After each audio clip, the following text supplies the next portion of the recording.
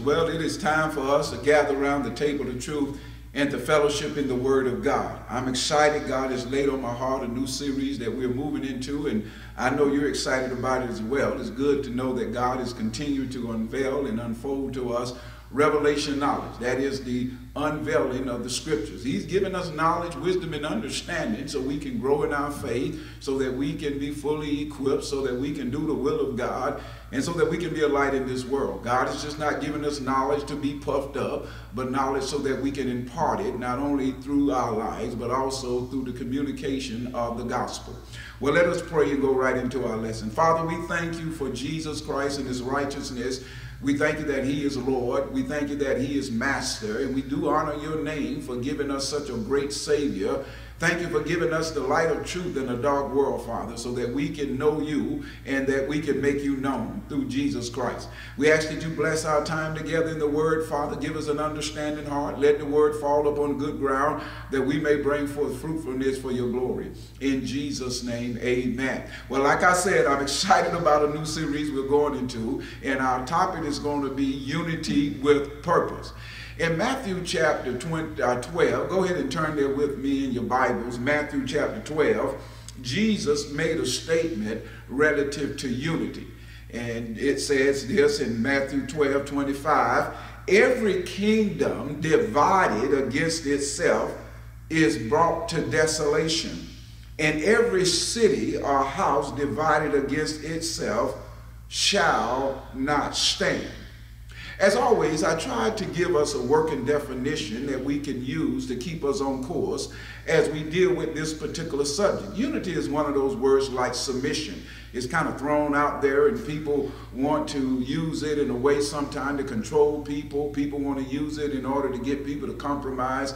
But I'm coming from a biblical viewpoint. I'm coming from the standpoint of we that are called into the kingdom of God to represent Jesus Christ and understanding what true unity look like. And so a definition that I'm using for this teaching is the ability to identify and declare kingdom authority with a shared or united heart of faith that ushers in God's power in prevailing over an inferior kingdom authority.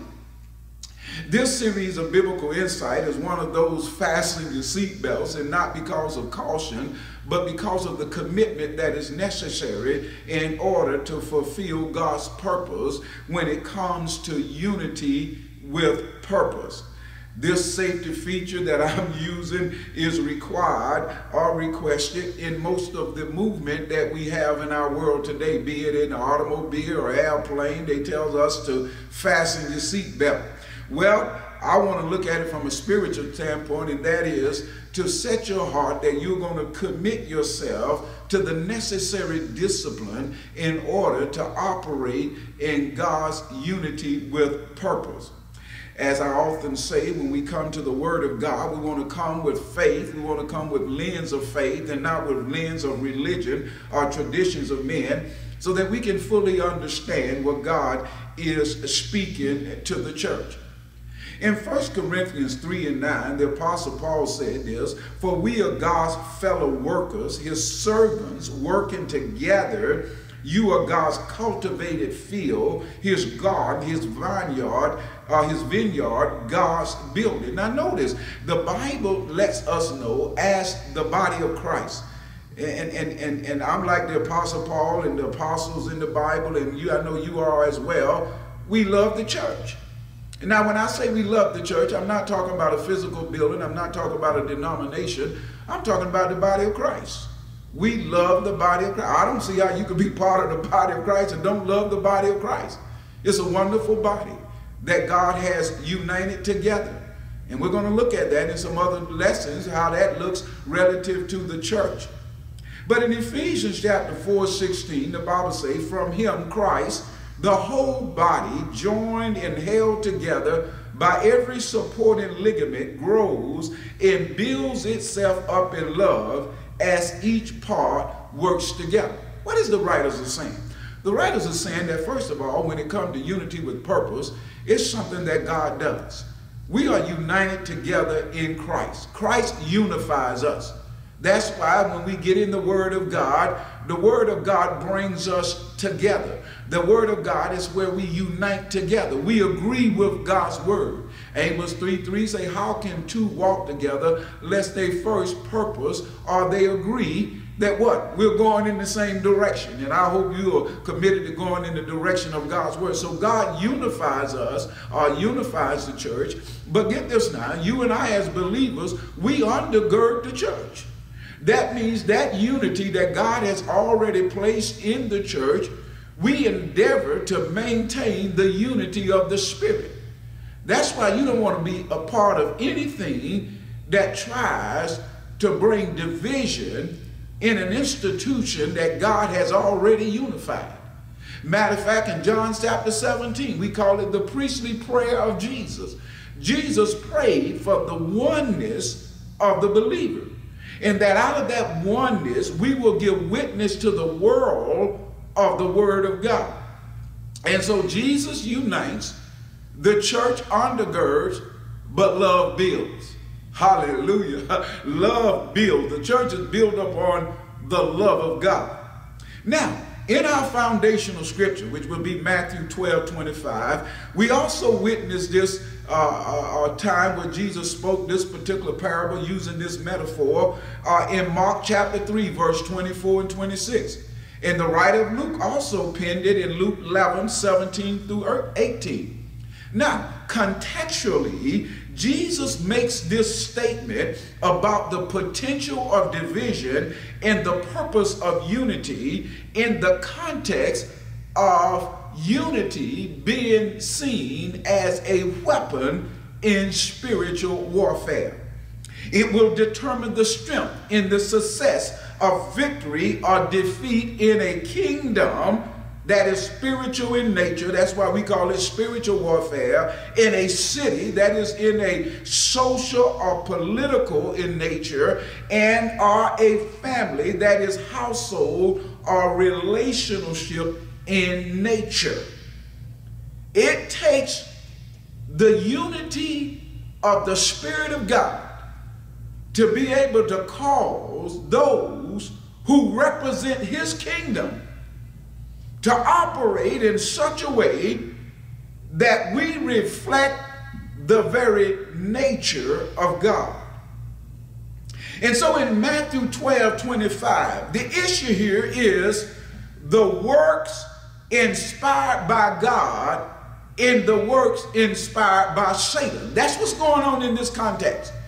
The Pharisees attributed the works inspired by God to Satan's kingdom. This led Jesus to further explain how the power of a united kingdom works.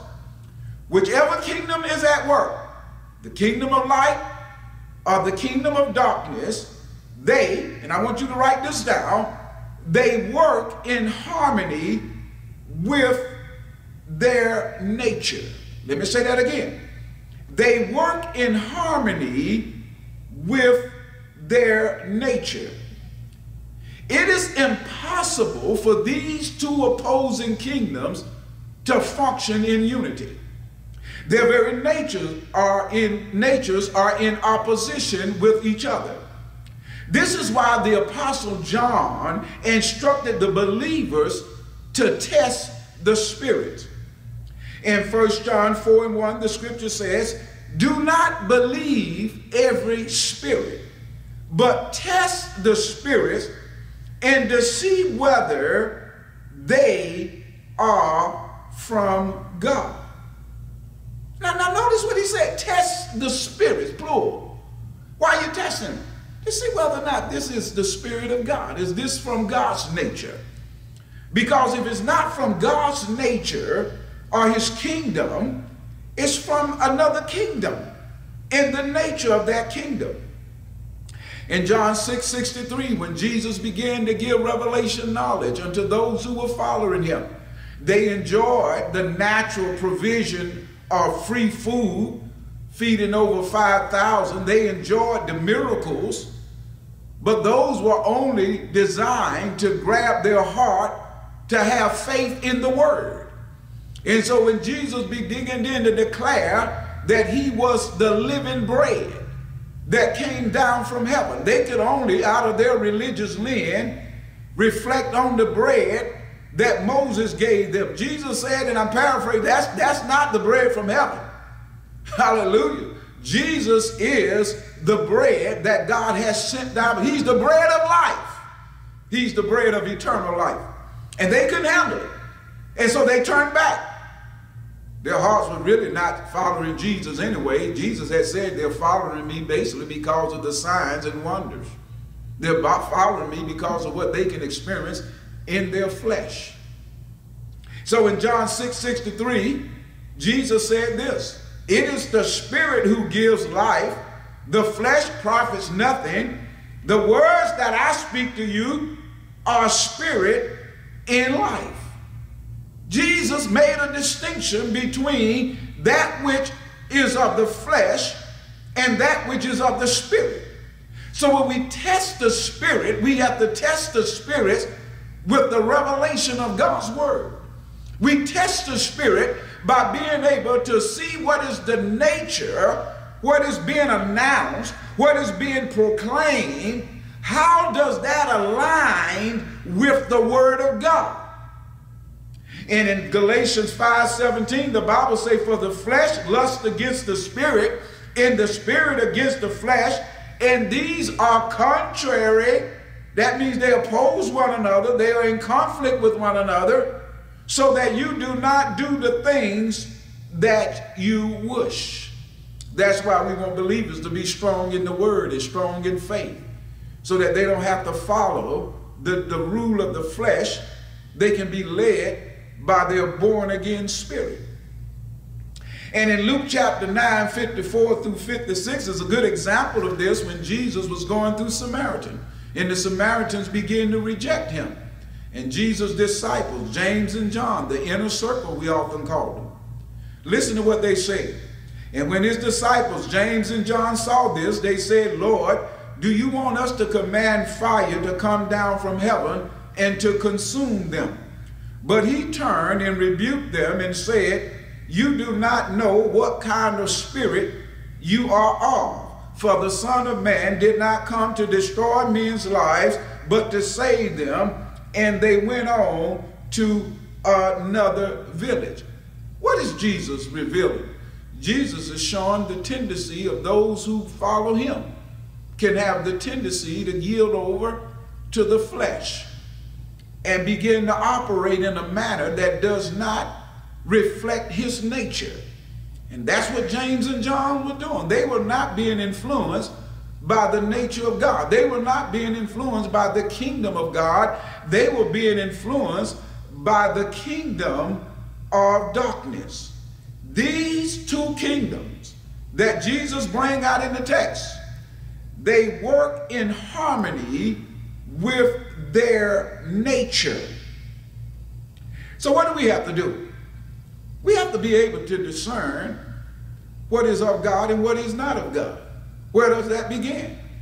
When you get born again and when you begin to be discipled in the things of God. Discipleship is about being able to develop the knowledge in the arena of our minds so we can know and understand what is of God. What is what does God approve of? In Romans 12, 2, the scripture says, And be not conformed to this world, but be ye transformed by the renewing of your mind, that you may prove what is that good and acceptable and perfect will of God. You really can't find the will of God for your life until you begin to allow the word of God to renew your mind. And so often believers, they are walking after the prince of the air under the influence of the God of this world and yet saying, I want to know the will of God for my life. The will of God for your life begins when you have understanding of that God has called you into his kingdom. That is, you get born again.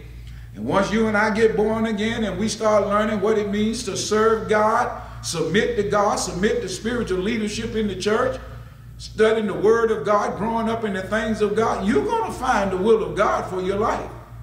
you're going to land in a place in your life where you're going to look up and say, I am in the place of God. And regardless of what you went through to get to that point, you don't hold no grudge. You're like Joseph. You're able to forgive people who tried to do things to you in, on your way. You know, you, you, you, you're able to forgive them because you know you're in the will of God for your life. So it begins with getting in the Word and get born again, getting my mind filled with the knowledge of God's Word. Another way is in Hebrews 5 12 through 14. I want you to listen to this because this is very important. It says, For though by this time you ought to be teachers, you have need again for someone to teach you the elementary principles or the oracles of God, and you have come to need milk and not solid food. Remember, we're talking about what? In every kingdom, there are these two natures in these two kingdoms. Uh, they do not work in harmony with one another. The kingdom of darkness and the kingdom of light have two different natures.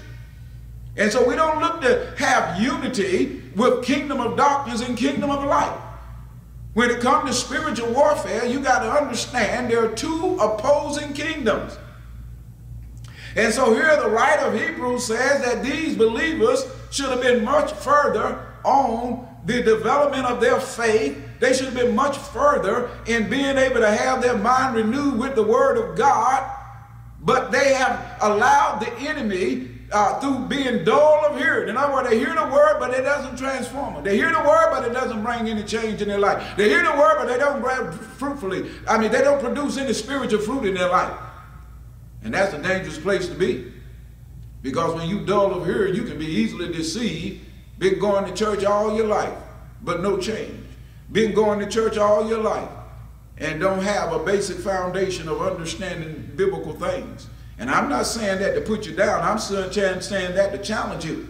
Get in a place where you can grow in the grace and knowledge of Jesus. Get in your word. Begin to study. Begin to meditate. Begin to memorize. Begin to walk with God. But the writer goes on in Hebrews after he kind of somewhat rebuked those individuals who should have been much further on in their spiritual walk. He said in the next verse, Hebrews 5.13, For everyone who partakes only of milk is not accustomed to the word of righteousness, for he is an infant or babe. Now you know when a newborn babe comes into the world, that babe needs milk. Matter of fact, that's all the baby can drink at that point. But that baby does not stay on milk. That baby transitions beyond milk. And Paul just, I mean not Paul, but the writer of Hebrew just uses it as a metaphor to try to bring out a spiritual point. And the point is this. God wants us to mature in the things of God, in the word of God, in spiritual matters of our life, so that we can be able to discern what is of God and what is not of God. What is of God nature and what is not of God's nature. What is of God's kingdom and what is of that opposing kingdom, which Satan is the king of that kingdom.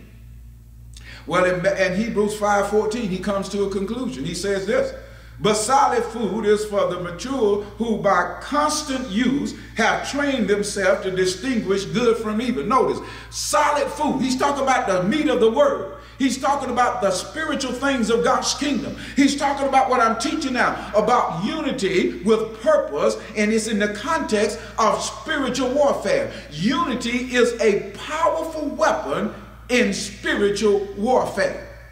And so he tells us it has to be constant use. We're being trained so that we can distinguish what is good and what is evil. The second thing, if we look at Matthew 12, after he talks in verse number 25, the writer says in verse 26, if Satan cast out Satan, he is divided against himself. How then will his kingdom stand? In other words, they are present with us. You know, Jesus performs this miracle. In verse 22, he basically delivers a person that was brought to him from demon power, from demonic powers. What was that? It was a kingdom ruling in that person's heart, a kingdom of darkness. And Jesus set him free. And there were some physical symptoms too, which was blindness and muteness. He couldn't speak, he couldn't see. But the Bible identified in verse 22 there was a demon behind all of that. Jesus discerned that. And he set him free. And the Pharisees said he cast out demons. Now, you know, they had to have some openness to spiritual matters of the supernatural. And they did, based on their teachings in Judaism. They, they didn't reject the supernatural. They didn't even reject the fact that there would be a resurrection. The Sadducees did, but the Pharisees were more open, but they were blind by religion. They were blind by spiritual ignorance. They were blind by the law. Here the word is right in front of them and they are fighting against the word. And usually when people fight against the word, it's because there's another kingdom that has blinded them. The Bible called it the God of this world have blinded, blinded people, blind their heart, blind their minds to the revelation of Jesus Christ. So they both are present with us. And in verse 27, it says, And if I cast out demons by Beelzebub, by whom do your sons cast them out? Therefore they shall be your judges. In verse 28, But if I cast out demons by the Spirit of God, surely the kingdom of God has come upon you. This is Jesus' response to what I had just said, starting in verse 22, in the reaction of the Pharisees. And then now he responds, and Jesus reveals or informs us that another kingdom is present in the earth. The kingdom of God, but there's also the kingdom of darkness present. Has it ever dawned on you, as people often pray what we call the model prayer, that God has answered that prayer? Your kingdom come, your will be done. Jesus said, the mere fact that I am destroying the works of the devil, I am casting the devil out of people's lives, I'm setting the captives free, I'm opening blinded eyes, the gospel is being preached, the kingdom is here. The kingdom is present with us. And Jesus is demonstrating what this kingdom looks like in the context of spiritual warfare. Now, the kingdom of darkness is here as well. In 2 Corinthians 4 and 4, listen to this. Satan, who is the God of this world, has blinded the minds of those who don't believe. Notice, he can only blind the mind of those who are not believers. They are unable to see the glorious light of the good news. They don't understand this message about the glory of Christ, who is the exact likeness of God. And so here Jesus, he not only reveals the presence of two kingdoms in earth, but he prophesied in verse 27 that generations to come are going to operate with the kingdom power. And they're going to understand that the power of the unity because what? Because division weakens a kingdom. Division weakens a city. Division weakens a family. And so Jesus even said if Satan was divided, if he operated in division, his kingdom would not be able to stand. His kingdom could not have power. And so what happens? When division comes, it weakens a kingdom. And now that kingdom becomes more vulnerable to outside forces, becomes more vulnerable to attacks of the enemy. In our world today, the social and political climate of our nation, because of division, and some people like division.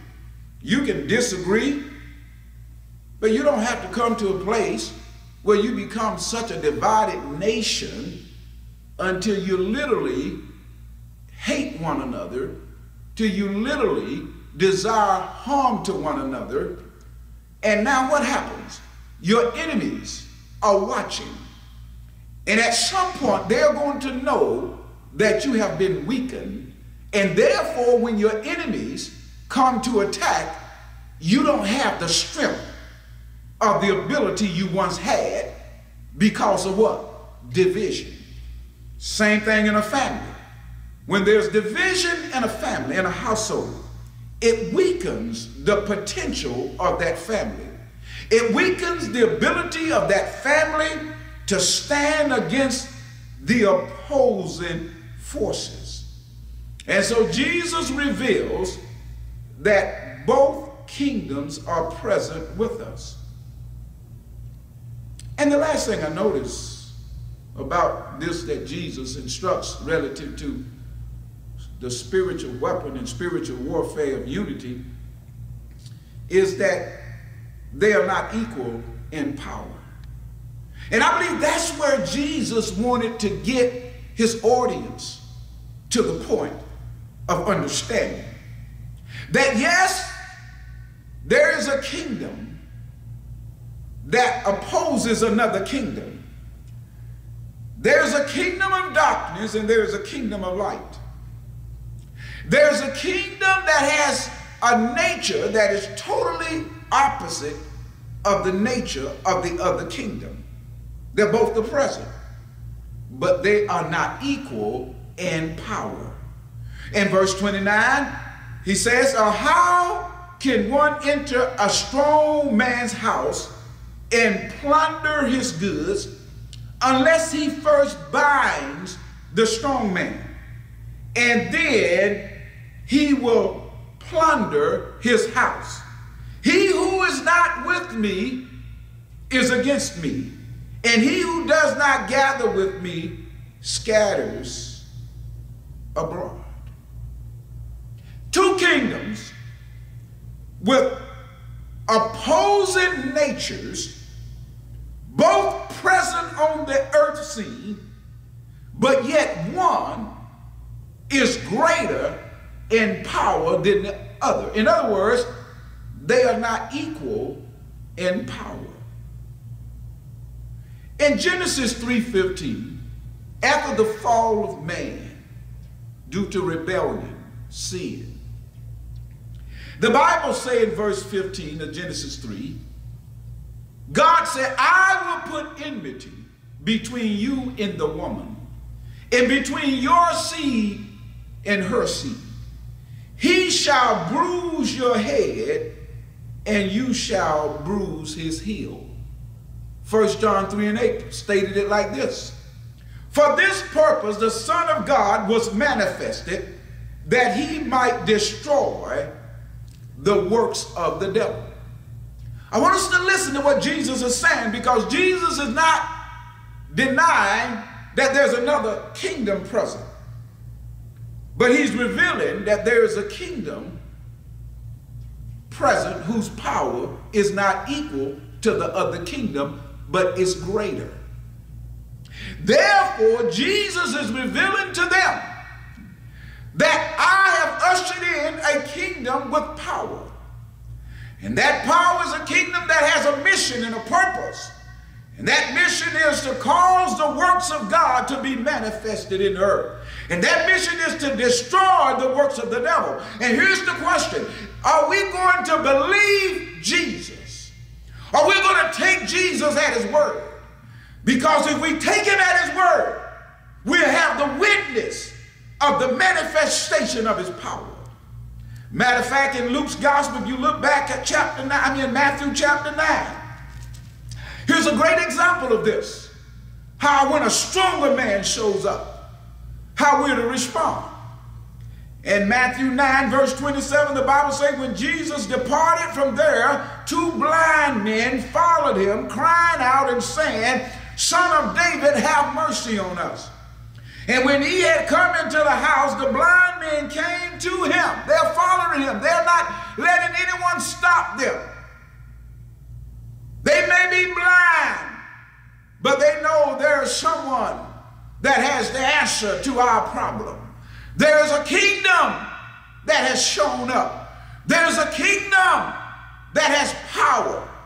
And the Bible goes on to say in verse 28, and Jesus said to them, Do you believe that I am able to do this? They said to him, Yes, Lord. In other words, Jesus simply said, do you believe that I have the authority and power to change your condition?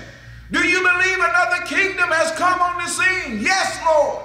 Listen to what happens in verse 29. Then he touched their eyes, saying, According to your faith, let it be done unto you. That's how the kingdom works. He has the power, but it takes faith to experience that power. He has the power, but are we willing to follow him? He has the power, but are we willing to persevere? He has the power, but are we willing to get close to him? He has the power, but are we willing to communicate with him? He has the power, but are we willing to believe him? And they did. And the Bible say, and their eyes were open. And Jesus sternly warned them, saying, See that no one knows it. But when they had departed, they spread the news about him in all that country. They were so excited because they tapped into the kingdom that has greater power than the kingdom that had them by bound. They were bound by a kingdom. But there's another kingdom that has come into the earth. And that kingdom has greater power. And that's what Jesus is saying to the audience. That's what Jesus is saying relative to these kingdoms. He is not denying that the kingdom of darkness is not present. He's not saying that the kingdom of darkness is not here. He's saying the kingdom of darkness is here. But there's a stronger man that has entered the scene, the Lord Jesus Christ. And Jesus have come with a greater kingdom a greater power. And so here we are, understanding that unity with purpose is about a kingdom authority. It's about a kingdom authority that we put our faith and our confidence and our hope and our trust in. That regardless of this other kingdom that is in an inferior kingdom, it does not have dominion over the kingdom that Jesus Christ have brought on the scene. So Jesus reveals what unity with purpose looks like in the context of spiritual warfare. Two kingdoms working in harmony with their nature. Two kingdoms being present with us today. Two kingdoms that are not equal in power. I have a few faith action questions. Notice I say faith action, how to put my faith in action. Faith without works is dead.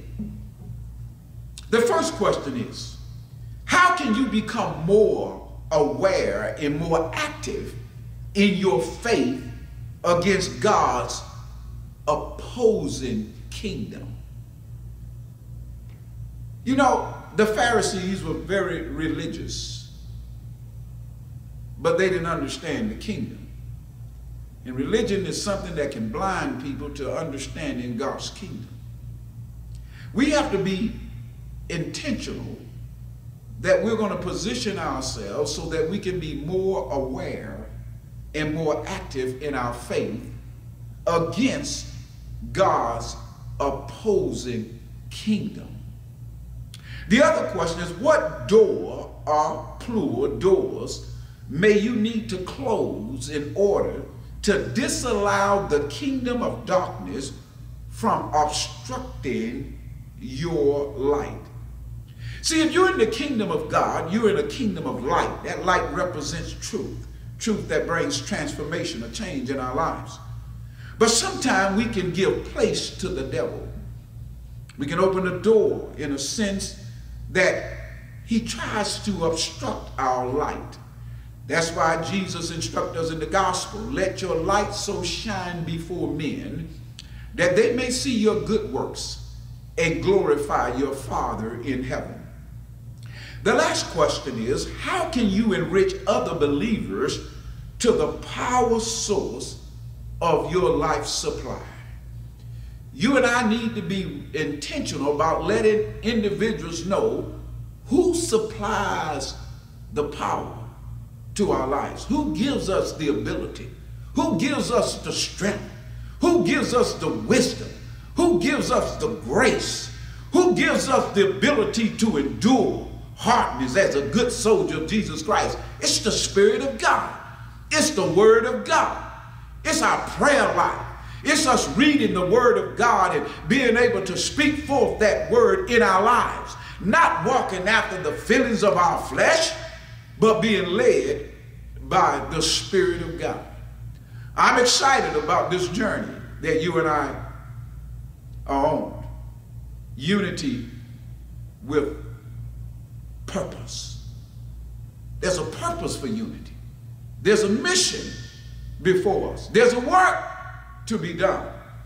There's something much bigger, much greater than us that God has ushered into the earth. It's a kingdom. And he wants his children to occupy until he returns. Well, God bless you and have a great day in Jesus' name.